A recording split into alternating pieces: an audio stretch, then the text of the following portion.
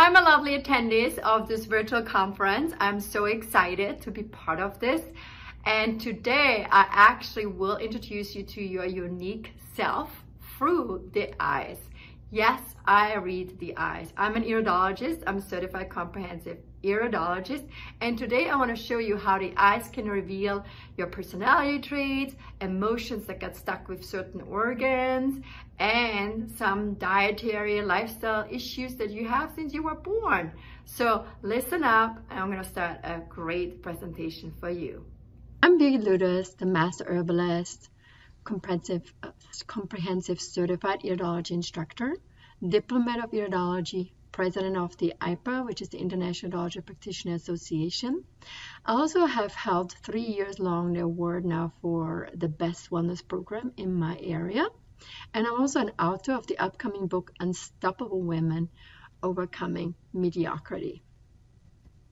Today, I want to introduce you to your unique self. How do I do that? I'm looking through your eyes and find out who your unique self is. So what is iridology actually? Iridology is nothing new, but unfortunately it has been, um, you know, less known in America as it has been in um, Europe. So as you know with my accent, I'm from Vienna. So I want to introduce you today a little bit about yourself. So my reason to do this whole talk is that you find out by taking a look at your eyes one more time after this talk who you really are. So we study the iris and the pupil and each person has a unique pattern of fiber structures and colors. Iridologists interpret these fibers to assess genetic strength and weaknesses. So the history of iridology. It's not that I just came up with this iridology. It's been around for thousands of years. Thousands BC, Babylonians knew how to read disease from the eye. So 1826, Ignaz von Peczely was the European founder, medical doctor from Budapest, Hungary. He has been um, very involved with iridology and he has done a lot of research for us. And he started as an iridologist actually, but he wasn't being taken serious. So later on, he went back to college to get a medical doctor's degree. But his last words were, Here is the sign, but where is the disease? Unfortunately, in 1826, he did not know that he was looking actually in your genetic DNA blueprint. So that means your mom and your dad have certain weaknesses in specific organ system and it might have not happened yet that you have problems in it, but you carry a weakness in it. So that doesn't mean when I look in your eyes that you, you know, have diabetes, but it means that you have a weakness in a pancreatic area that could turn into diabetes if you do not use prevention as your tool to prevent things from happening. So 1929, Dr. Bernard Jensen, he was the American founder from um, where he is he was the one who really truly brought uh, iridology into the American um, knowledge. He translated a lot of books into English language and he dedicated himself 50 years of his life to the research and study. So most of the books that you can find here in America have been probably written from Bernard Jensen. He was the one who created the most famous iris chart because he took on 20 or 30 different charts and combined them to one. Gladly, his um, daughter-in-law has continued the legacy of Bernard Jensen, and she has been on the board of the International Iridology Practitioner Association for quite a while. 1965, Joseph Deck is called the father of modern iridology. So what happened is Bernard Jensen went uh, and taught lots of iridology in America, but meanwhile, in 1965, more research has been done and it's been called now the constitutional iridology, which means it's now clear that the genetic predispositions are shown in the eyes and not the current disease. So it is an established blueprint of the iris. So when I have um, a mom come to me and to my office, I encourage her to bring the children so we already can tell if they have a strong stomach or if they have a weaker digestive system, if they have more issues in their skin or maybe in elimination of the kidneys. They might not exhibit any problems until they're like probably in their mid 20s, mid 30s, or mid 40s, but it's good to know for the mother already where to take care of it through the correct food choices. So today, the IPA is the International Practitioner Association. We try to dedicate the to find the newest research, and we collect all the information from the American, European, Russian, Australian, even Asian area has done a lot of research in this field. So we founded this uh, organization to standardize iridology in the world, and especially here in America. Unfortunately, a lot of iridology has been taught from one person to the next, and half of the things weren't true, but unfortunately, it's got lost in the in the grapevine here.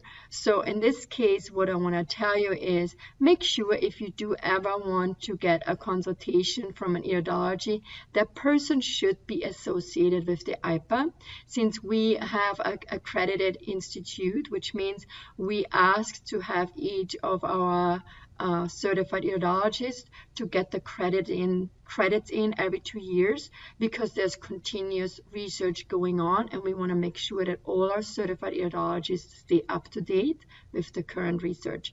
And they don't teach any iridology that has been in the 1960s or 70s i don't know if you go to a doctor i don't want to get a heart surgery from somebody who did it in the 1970s things have been improved, things have been changed. We found out what wasn't right and what wasn't what was right and what wasn't wasn't right.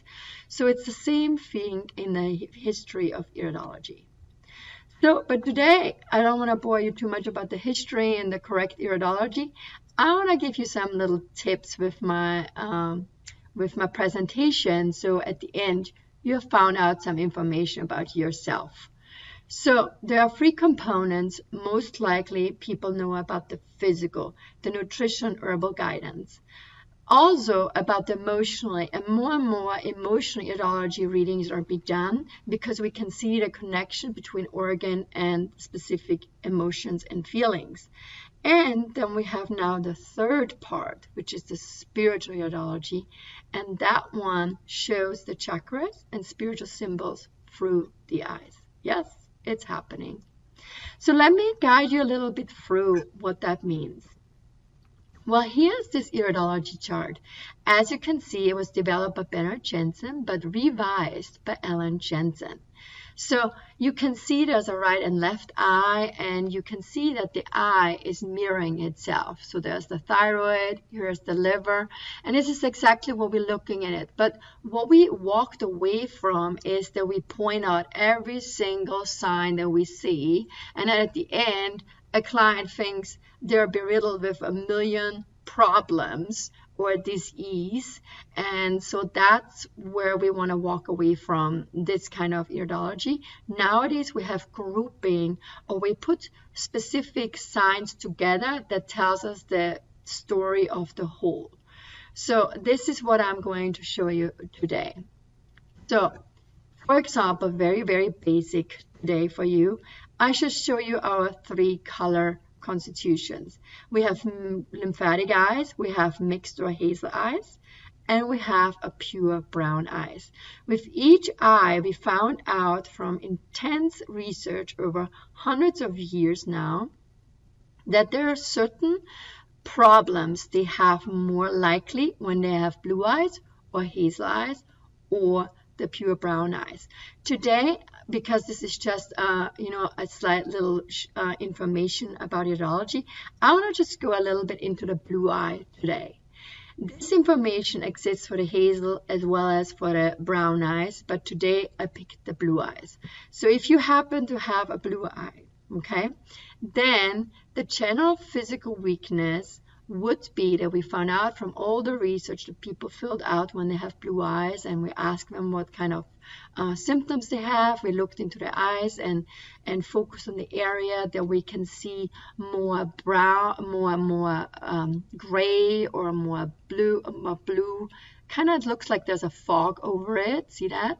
You can also see little pebbles here. We call them tophi.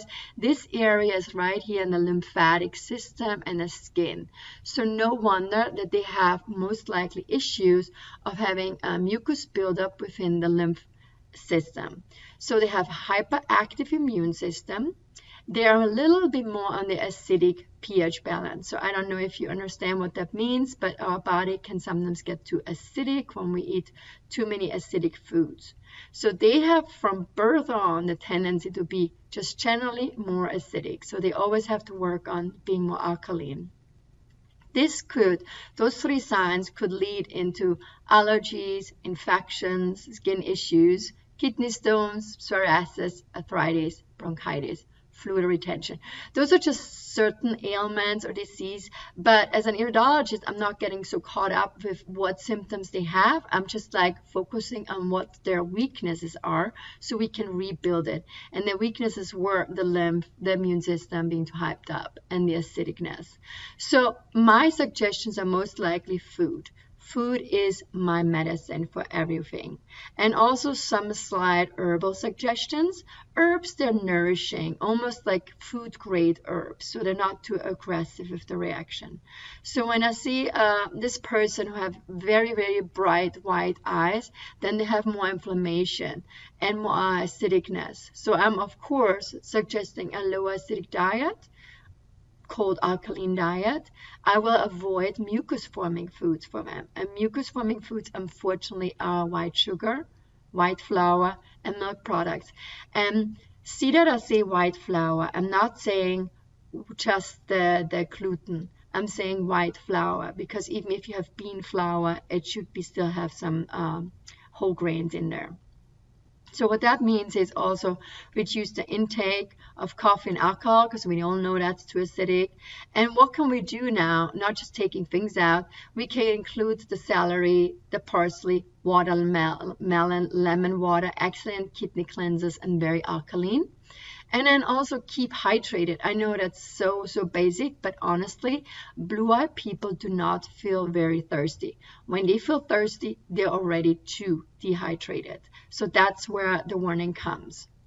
So that was just one example. I don't want to go on and on now, go into the hazel or the brown because there's not so much time. But if you are interested, just call me up and I give you a consultation via the Zoom calls. Next part I want to introduce you to is the emotional one. I told you there are three components of iridology. So we first had the physical one. Now we have the emotional one.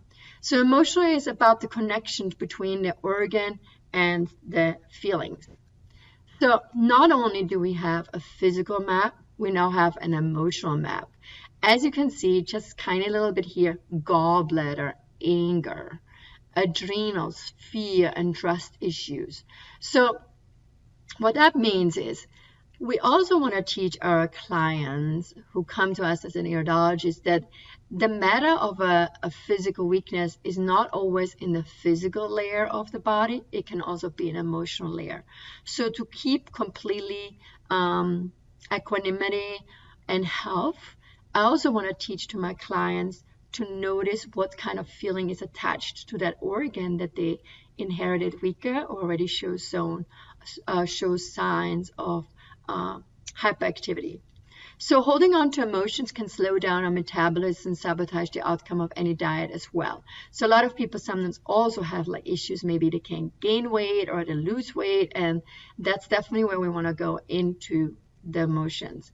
Here's just a few organs that is attached to specific uh, uh, a feeling. So in adrenal glands, here you can see that, trust and fear. So it's about worrying all the time or prolonged fear. And unfortunately, no wonder we're going into adrenal fatigue right now in this whole 2020. That year from March on was just a fearful, worrisome year because of COVID breast is a feeling of emotional nurtured.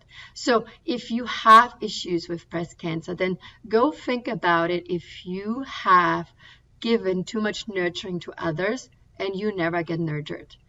Then the gallbladder is about hatred, bitterness, inability to forgive. And then the heart is not feeling loved. It needs to be appreciated. Pancreas is feeling a little jealousy, feeling being overlooked.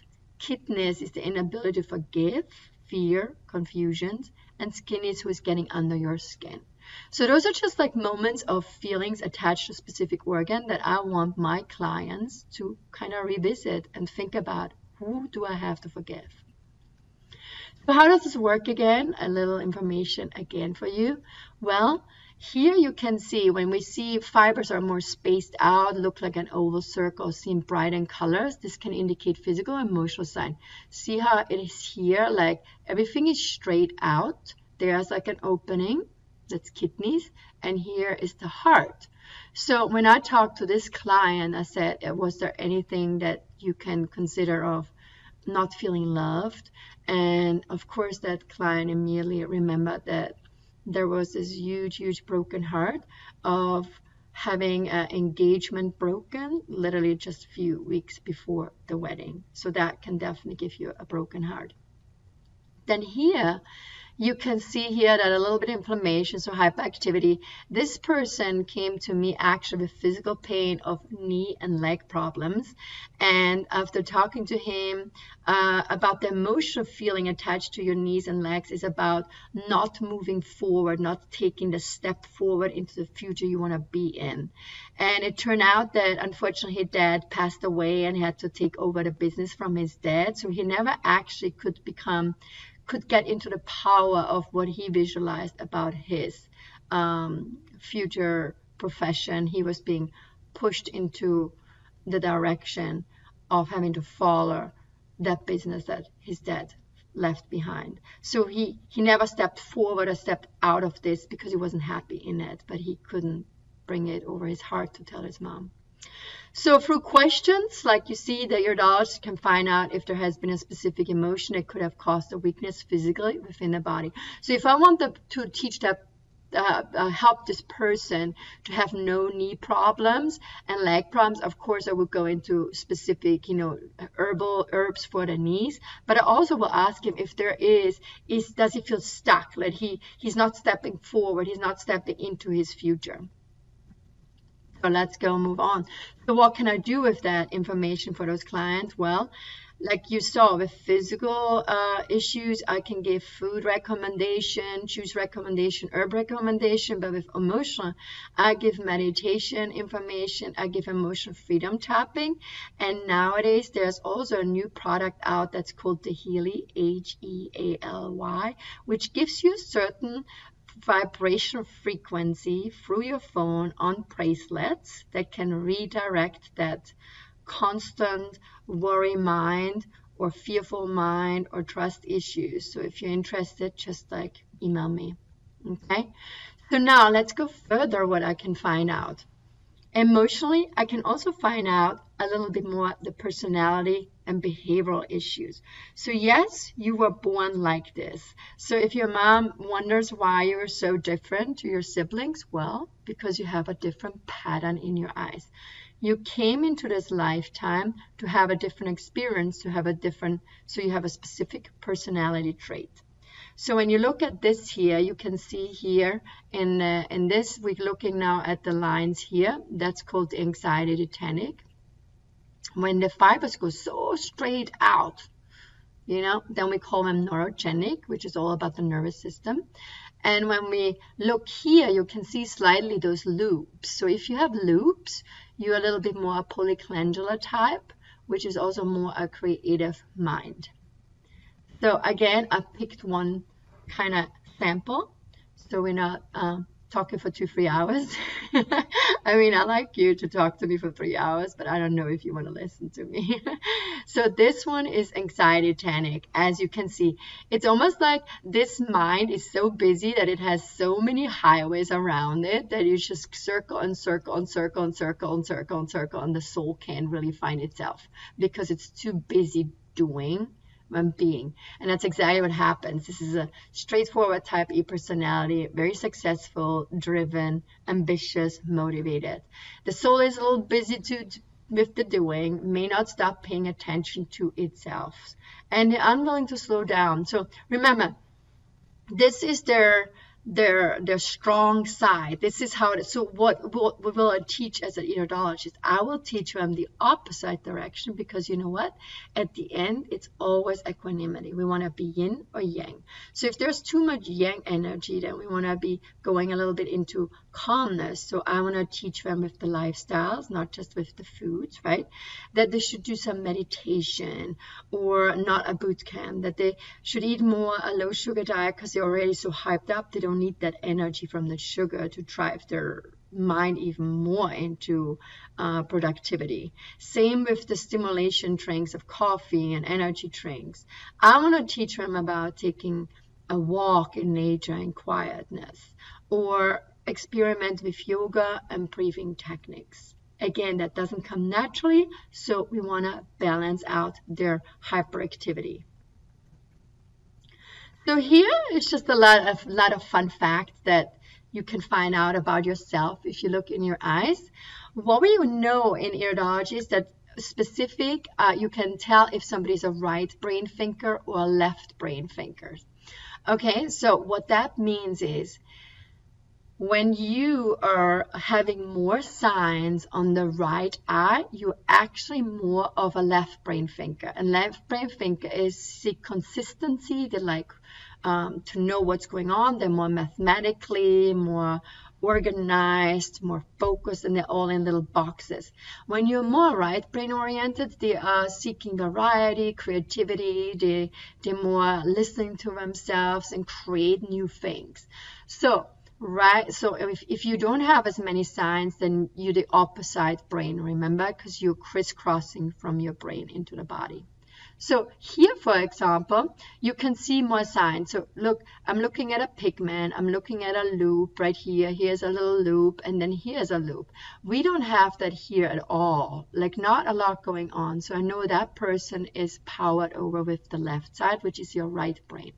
So here's a fun fact. They will maybe like you know, a salad that looks like this, something they have never seen before. So when I coach people knowing that they're more right brain oriented, I want to keep their creativity. I, I don't tell them exactly what to eat. I give them options so they can create their own uh, meals here, for example, you can see way more pigments right here on this side, a little bit more of a, like topaz and lines here. So as the left brain, so this person is pretty much a left brain thinker. So they, they need to know the facts, then they're organized, they're planned, and they don't want to be overwhelmed with, you know, uh, spontaneously. And so for them, a salad looks like this. so let's go further. I want to teach you today now a little bit about the spiritual iridology. There's no wonder that we say that the pupils are the doorway into your soul, right? But it's also the doorway to the universe. So here's an amazing story that I had. I had a person come to me and she was blind and she insisted to get an iridology reading, but I knew that I couldn't see any fibers or colors or structures, so that that was gone. And so in this case, I wasn't sure if I, you know should come out and talk about my spiritual ideology, which at that time I didn't want to talk too much about it because I wanted to make sure that people took took me um, uh, took took my information as accurate, and I didn't want to scare them with the whole spiritual part. But anyway, so this woman comes to me and she insisted. So of course, then I had to just give her a pure spiritual reading, which means in this case if you want to slightly look into it and look a little away, you can see here a woman's face with bangs and short hair. So you can see that it reflects kind of female face. And since I have nothing else to say, I was saying to her that there is like, you know, the spiritual iridology that's not been known that much.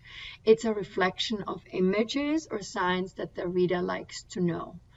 Um, so in this case, I asked her about this woman and she says, yeah, that's my mother who passed away on breast cancer.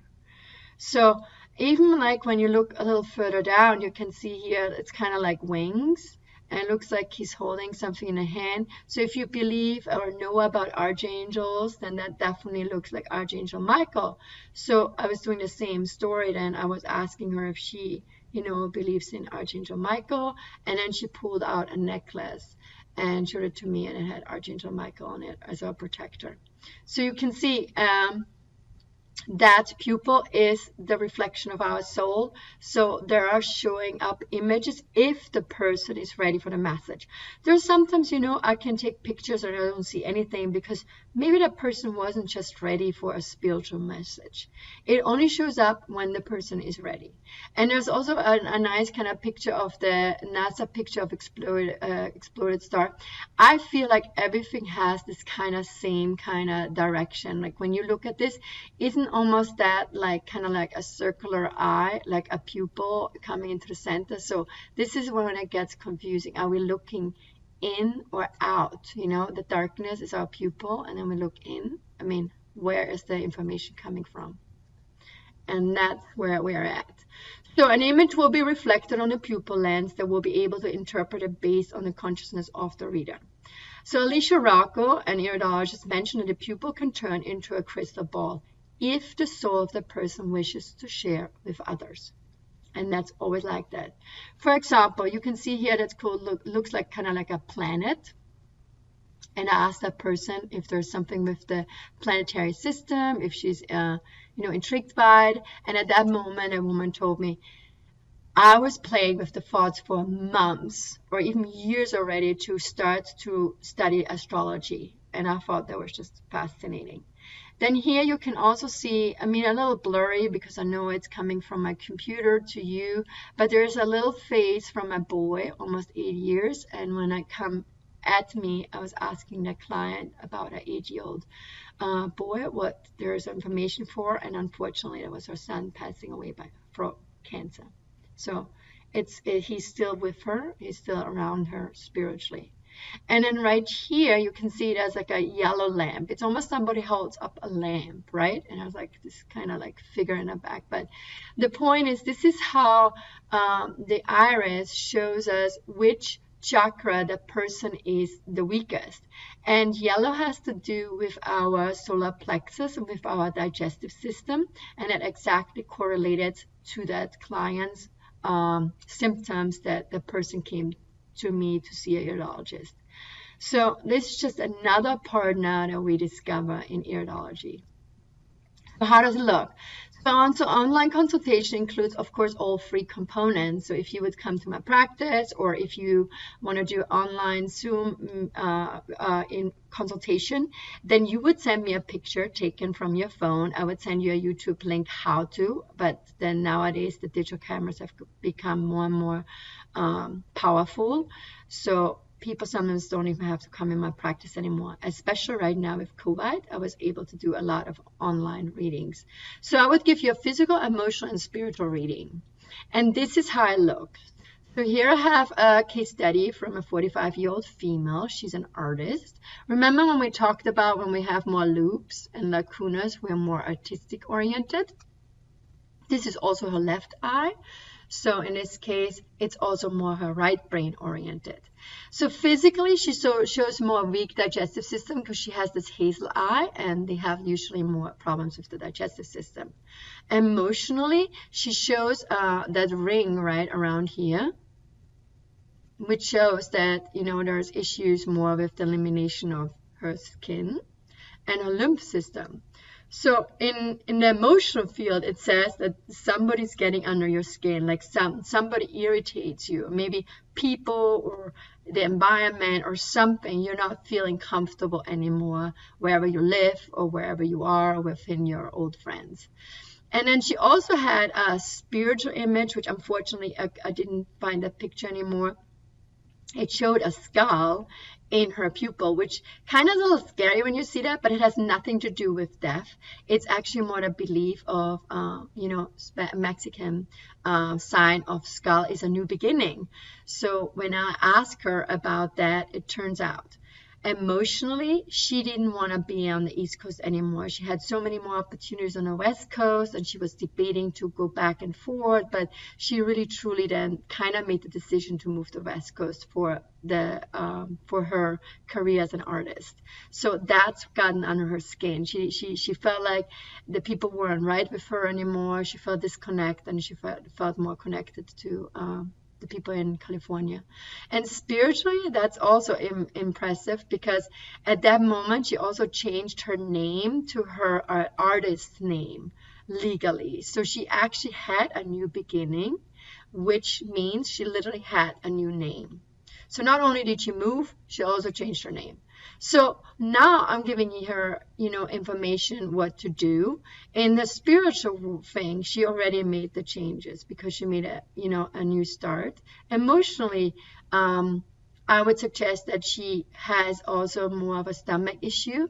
So with the yellow chakra and the skin is associated with the red chakra. So since she has digestive system issue, I went into your digestive system, calmed down the stomach, the digestion. We took some food out that she had hidden allergies and so on but also the skin because the skin was so darkened. Um, I was trying to give her some crystals for the red chakras or a sound vibrational music uh, on YouTube for the red chakra or the first chakra. And dietary, I told her to eat more easy digestible food, like she needs bitter greens to cleanse the liver, because in iridology, the brown color is more associated with the gallbladder and the liver. And I also suggested the cucumber and celery for better lymphatic stimulation. So this is how it works. But usually then um, my clients, they receive, you know, uh, eight or nine page long written report that I write for them after the one hour consultation. So they have something to hold on to. And then they can read that whole like report again about the iridology uh, assessment, also about the dietary suggestions due to their iridology reading, and then also the herbal suggestions as well as the spiritual and emotional lifestyle changes. So health equation is exactly that. It's not all in your DNA that when you have a sign in your adrenals, you have to become adrenal fatigue. No, because the health equation that we really follow as an iridologist, that there, it's due to the genetics, the age you feel you are, not the age you really are, lifestyle, diet, equals your health.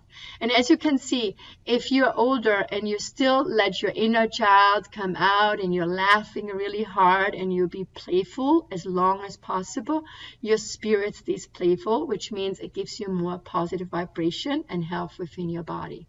Then also with emotions, you cannot always be the angel. When you feel like people stepping all over you, you do need to have to voice yourself and become a little bit of a devil. So both is important too.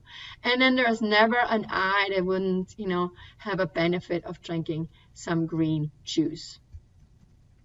Here, just a quick like little quote that I always like.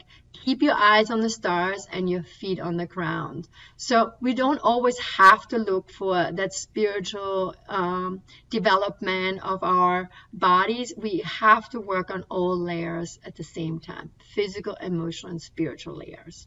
Okay? So here, just a few products of mine. I may I use herbs and food as my medicine. If you're interested, just go to birgitcare.com. But I also um, teach iridology. So if you happen to be in the holistic field and you're like a chiropractor, an acupuncturist, a massage therapist, uh, um, integrated nutritionist, holistic nutritionist, you will all profit of having an extra assessment in your toolkit. And iridology is an assessment. So before you have your client, you know, you want to get as many assessments going as possible so you can really find out where the root cause is of their weakness, why they have all those symptoms, because you definitely in a holistic field don't want to chase symptoms, right? So if you have been listening to this talk today, then I offer you $500 off from my tuition. I have an online course coming up in November 12th or 14th. I know um, that might be just too um, late for you guys now as we're talking, but I have another course coming up probably in December and in January. Just always check out my website, centerforiridology.com, and check out when the next date is of my classes. Usually I teach classroom teachings uh, all over the major cities in America, but due to COVID, I changed it all into online teaching. So take advantage of this because once the, you know, we're have, we're getting over this COVID, people do want more classroom teaching. So then I would teach in New York, Boston, Miami, Chicago, San Francisco, Philadelphia. Those are the cities where I'm teaching right now. So iridology online courses right now available. It's a live online class. So I'm, it's not a recording because I want to connect with my students. I want to make sure they understand the topics and we follow together along through the chapters and make sure that everybody understands it. And then also you can also contact me with my for an online iridology session. For that, I offer you $50 discount. So instead of 220, you would pay 170 which is quite, quite affordable for the whole thing, the report, the online session. And so for that, just contact me on birgitcare.com. So I hope you enjoyed all that information and um, hope to hear from you. Thank you. So I'm all back. I hope you enjoyed that presentation I showed you. So if you have more information, please reach out, send me email. If you're interested to study it with me, I would be honored to because we are at the IIPA still looking for a lot of practitioners who would like to carry on the torch for iridology. And I'm saying a torch because unfortunately not a lot of holistic people um, choose the assessment tool of the eyes anymore. But I feel like it's been around for thousands of years and it should definitely not not die out. So again, call me or email me and check out my website if you're interested for online consultations or for a course, okay? It was a pleasure uh, talking to you for 30 minutes and um, I hope to hear from you. Bye.